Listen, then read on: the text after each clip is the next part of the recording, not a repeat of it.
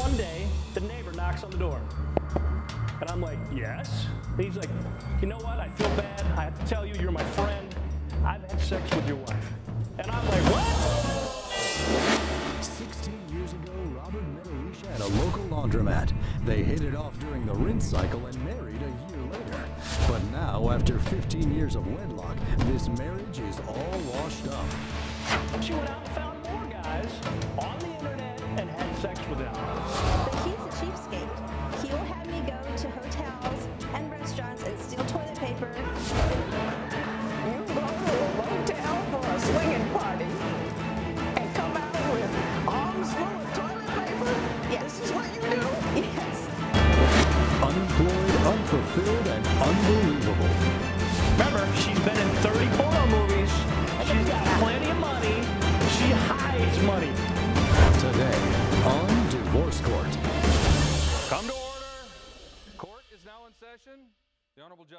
Lynn Toler presiding. Good day, ladies and gentlemen. I'm here today with Robert Hayner and Alisha Hayner. Mr. and Mrs. Hayner, you have been married for 15 years, but you do not want to be married anymore. Mr. Hayner, you are looking at Mrs. Hayner to uh, reimburse you for some gambling debts, and we will talk about that momentarily. However, uh, before we do that, Mr. Hayner, I'm going to ask you to tell me a little bit about your marriage and why we're here in divorce court today.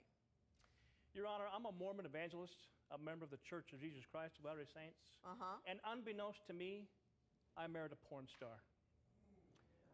My wife has had sex with over 150 men during our marriage. During the marriage? Yes.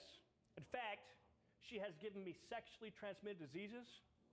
I've had to go to the doctor, get medication to overcome these diseases. It disgusts me. Mrs. Hayner, have you had sex with over 150 men since you've been married to your husband? Yes. He sexually unsatisfies me. He's a minute man. Oh, wait a minute, wait a minute, wait a minute, wait, wait, it. wait, wait, wait, wait, wait, wait, wait, wait, wait. Let's. First of all, I never make a man respond to that kind of thing unless he wants to, because it's just not, you know, it's not something I make a man do. But I'm gonna ask you something, Mrs. Hayner. Married or not married, isn't 150 guys just a little nasty? Thank you. Thank you so much. Well, I just try and find the one that gives me the most pleasure.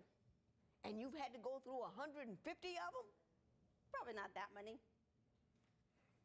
I think he's Well, what is exaggerating. it you're looking for? Is it the quantity? Is it you just haven't found anybody to give you the quality of sex that you like?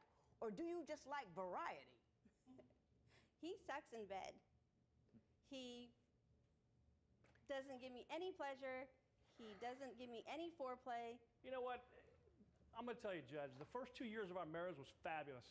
I loved her. She loved me. We went to church. We had this great idea that we were going to have a couple of kids, get a house, grow old together. Mm-hmm. Then one day, the neighbor knocks on the door. And I'm like, yes? And he's like, you know what? I feel bad. I have to tell you, you're my friend. I've had sex with your wife. And I'm like, what? He says, look, I'm your friend. I'm like, dude, you are not my friend. So then I confront her about it. She admits to having sex with the neighbor. I'm like, what are we going to do here? And she says, you know what? Maybe we should move. Maybe we need a fresh start. So, in 2004, we moved from Las Vegas to LA. The first six months was fabulous. Marriage was good, everything was going good. Then she starts getting on social networks. She meets all kinds of crazy guys, goes out with them, has sex with them. In fact, she likes to go to what she calls swinger parties. When she goes to swinger parties, she has sex with men and other multiple partners. And of course, that's where she gave me all these diseases. Let me ask you a question. When you first married Mr. Hayner, did you find him sexually attractive? Was he alluring? No. Did he, did he did he pull a bait and switch on you? He was one guy right mm. before you married him, and he was somebody else He once was you the did. rebound guy. He what? He was the rebound guy. Oh, so who were you? You you had a boyfriend? Yes. Relationship ended. Yes. He's the first cat that happened by. And he had everything, and I had nothing, and he was nice. When you said he had, when you say he had everything, what do you mean? What did he have? He had a car and a microwave and food and a job. And I was sleeping on the floor and had no phone and no microwave and barely any power. And it was appealing, and he gave me attention. So you're telling me it was all about the money? I wouldn't say that. Well, yes, you did. You just said that. Thank you. Thank you. yeah, you did. Um, did you ever give the marriage a chance? Yes, we used to. I used to give him like do's and don'ts during sex. You know, try and make me excited and feel good. Now, So was this a lecture series or was it, you know, were you doing it in practical application, the do's and don'ts? Yes, yes, and we went to like no, which swinger one? I, parties. I, I offered you a choice. I Lecture never went to one series? single swinger party no, with you. We went to we went to strip clubs together, try and get excited, find another girl. Find and- another girl. Yeah, Not true. Not true. yeah, and bring Did her you home. want? Did you want to find another girl? Yeah, So you like women too? yeah. Hmm. When divorce court continues, has Robert been fighting a losing battle? She said to me, satisfied her. No man. That's not true. The last one did. No, that's not what you said.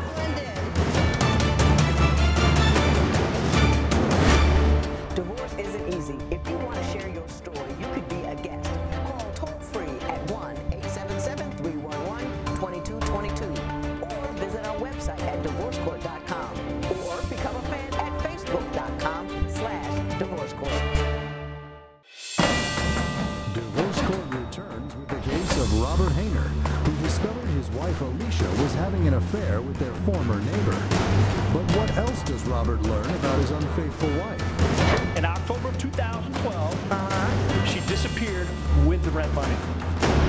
How did you live with this for 14 years? Well, the truth is, I didn't just know. rolls over.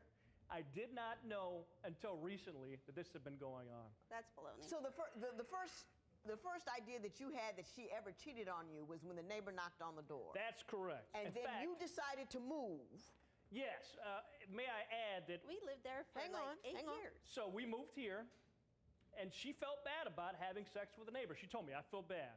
So we went to our church, we talked to our church leader, and the church leader said the best way to fix this is to excommunicate her from the church. So she was excommunicated from our Mormon church, and he asked her to repent, and she said she would repent. Not only did she not repent, she went out and found more guys on the internet and had sex with them. Well, you never really intended to be a Mormon ever, did you? Anyway, right? I wasn't raised in the Mormon church. They are way too like rule oriented. Uh huh. Did you know he was a Mormon when you met him? Yes. What about that told you, you know, sex, drugs, and rock and roll? Thank you. Thank you. I thought that I could reform and be a good girl. If I may say, she said to me, no man has ever satisfied her. No man. That's not true. The last one did. no, that's not what you said. the last one did. Unbelievable. I said I've never been faithful to a guy in my life. Well, you told me. Now, did you tell him that before you married yes. him? Yes. And what was his response? He's like, well, he boasts himself up. He'll say like, he's the only one that'll ever love me this way. I'm stuck with him, and you know I have to tell my friends what he half-ass does around the house to make him look good. But if he really did that stuff around the house, I wouldn't have to boast him up. I'd be just like, oh my God, this guy is awesome. He does the laundry. He takes out the garbage. He puts down the toilet seat. I do no, all that. No. Let's move on to another topic. Mr. Hayner, Yes, you say she has a gambling problem. she does. Tell me about In that. fact, in October of 2012, uh huh. she disappeared with the rent money. She's gone. She calls me about two weeks later. She says, I gambled the money. I'm broke. Please come and get me. What now, the Judge, heck are you talking about? I uh-huh. love her. So I drive to Vegas, I pick her up, and I bring her home. Oh, that's when I left you. And she says, I'm so sorry. I love you. No, I left you, and you said you couldn't live without me, so you came and got me. That's not the way it happened. Yes, it is. And well, now, now, now, let me ask you this: If you leave somebody and they come to get you, you know you don't have to get in the car. No, I don't have to you. You in the car. realize that, don't you? But so he you must have went with him at some point. He said he would change, and he didn't change. He got a job that worked him six hours a week, but he didn't change.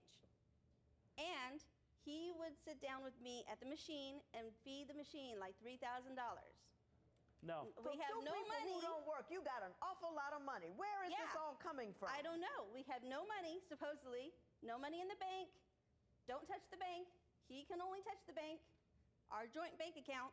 And then he spends money for renting the Mm, car, No. money Miss- for the hotel, Yeah, feeding the machine, betting on sports bets, just because he had a dream one night that he won big. Okay. So Miss- we had to go to Vegas. Mr. Hayner, Yes. are you betting large sums of money based on hunches and dreams? No. Yes. Now, I have in the past legally driven to Las Vegas and made legal bets on football. Uh huh. Nobody said they were illegal. And there was one particular year where I won about $8,000 on football. Okay. well, there's one year I won 1400 Ms. Hayner, please let the man. Now, I finish. use that money to do various things. I bought a new car for us at the time. Uh, I would take her out to dinner. Now, here's the thing, Judge. We do have a joint account, and I would put money in the account. Uh-huh. And as soon as I would put money in, she would take it out. When divorce court continues, Robert breaks down Alisha's busy schedule. She goes to her swinging party. She has sex with several partners. She comes home. She takes a shower, changes her clothes, eats the food, out of the house to her next sexual conquest.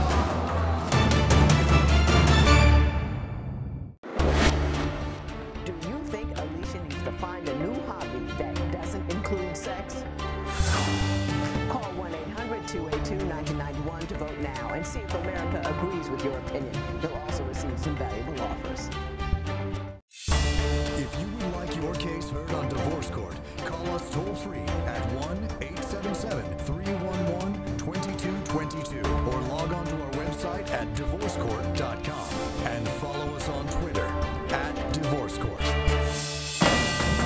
Divorce Court returns with the case of Alisha Hayner, who admits she's sexually unsatisfied by her husband Robert. But does Alisha take her quest a bit too far?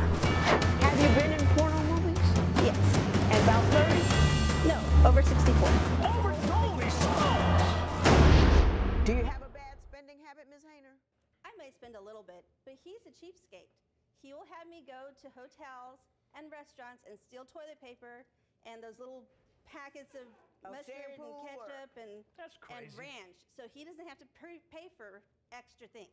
Well, how do you get into the hotel rooms to steal that well, stuff? like during the swinger parties, we'll go to a hotel room, and then I'll come home with all the toilet paper and tissue and whatever else I can find, so he doesn't have to purchase anything you extra. mean to tell me you go to a motel for a swinging party and come out with arms full of toilet paper? Yes. This is what you do? yes. You know what? I manage the money. I pay the bills. I take care of the house. She doesn't care about the house. Judge, this is what she does, okay? She goes to her swinging party. She has sex with several partners. She comes home. She takes a shower, changes her clothes, eats the food, out of the house to her next sexual conquest. Well, that's what My she does. The question is, how do you people manage to do all of this and not have a job? Well, listen. Remember, she's been in 30 porno movies. I've been She's in more got that. plenty of money. She hides money. One do day, she, not. one day. Have you been in porno movies? Yes. Thank you. And about 30? No, over 64. Over, holy smokes! You have to have a 64 movies. You said it was 30. Mrs. Hayner, Next do- week it'll be 90. Hang on, do you get residuals? No. No residuals? I didn't know. Someone I, was I told me Hey, they're there could supposed be a to- porno union. I, you know. I It don't would, it would be nice to get residuals and be able to sustain myself instead of trying to get money from him. Because when I ask him for our joint money from our joint account, he says yes, he'll give me money, and then he'll want 40 back. But did you know about the porn before you married her? No. Is no. it something you found out I just found out recently that she was doing porn. You guys don't have any kids, do you? We have one child. Okay. I'm worried, but all right. he doesn't live at home. okay. I mean, can I, can I ask you this? How would you expect your husband to feel about what you do? I mean, I would expect do you expect him- understand what marriage is and, and, and you. it's a contract that it's a decision that people make that say this is what I'm going to do, this is what you're going to do and and you make those promises and you just can't do whatever you want after that? Right. But when it was time to watch the kid, he would drop the kid off the babysitter and go gamble. He's either gambling or sleeping. Not true. Not true. When divorce court continues, Judge Lynn asks the burning question. Why would you stay with a woman for 14 years if she was doing the kind of nonsense that Mrs. Hayner is doing?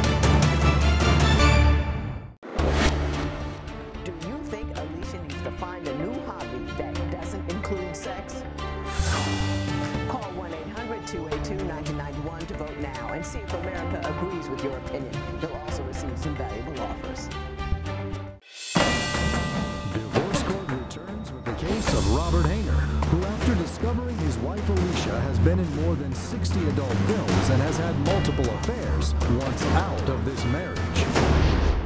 You know what? I'm true to you. I've never cheated on you. I take care of you. I pay the bills. I'm like Mr. the, Hayner, I gotta ask you a question. I've been looking crazy over there at Mrs. Okay. Hayner for, for, for a good 20 minutes now. Yeah. But I, I'm gonna come over here and look crazy at you because Okay. why would you stay with a woman for 14 years if she was doing the kind of nonsense that Mrs. Hayner is doing? Because the Bible says, neither is the man without the woman, neither the woman without the man in the Lord. I love her, and I believe marriage is forever.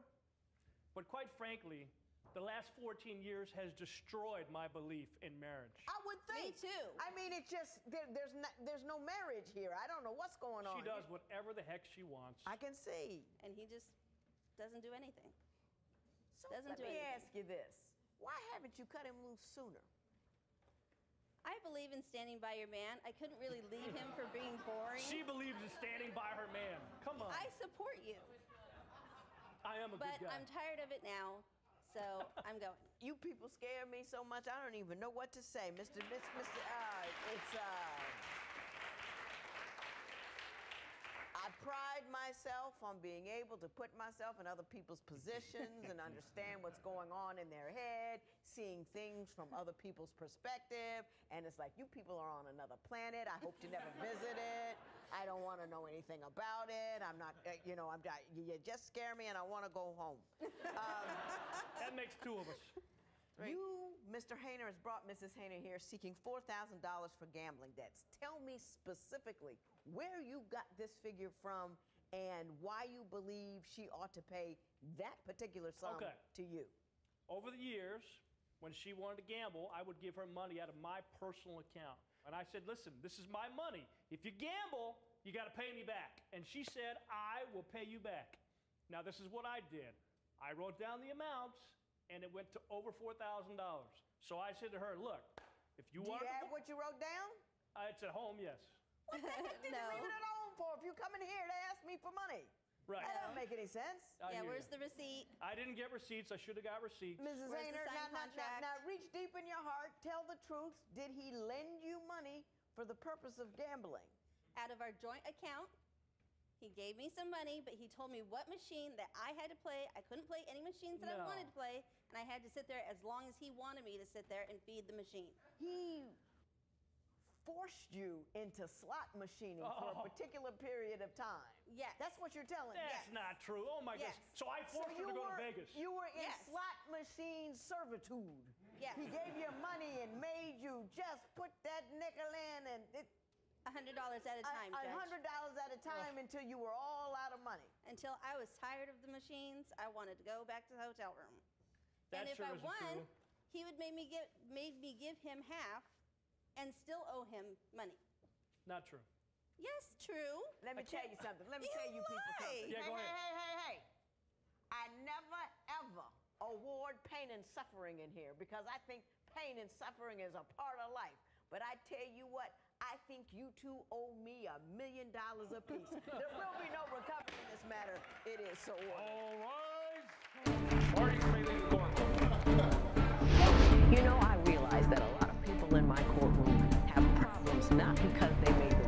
decision, but they failed to make any decision at all. They didn't decide